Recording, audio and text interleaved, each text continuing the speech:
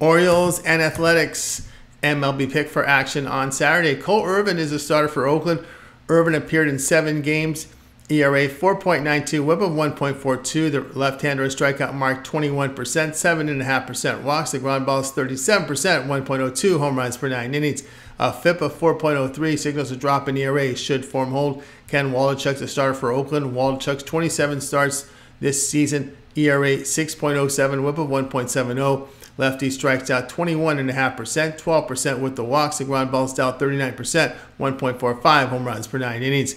Irvin's allowed one earned run or, uh, or fewer in four straight starts. Waldichuk showing improvement. Athletics 18-9 to the under at home against a team with a 540 620 win percentage.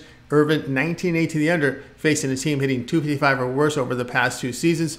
Past seven games, Orioles hitting 216s. Athletics hitting just 212 at home. Play here Oakland and Baltimore under nine.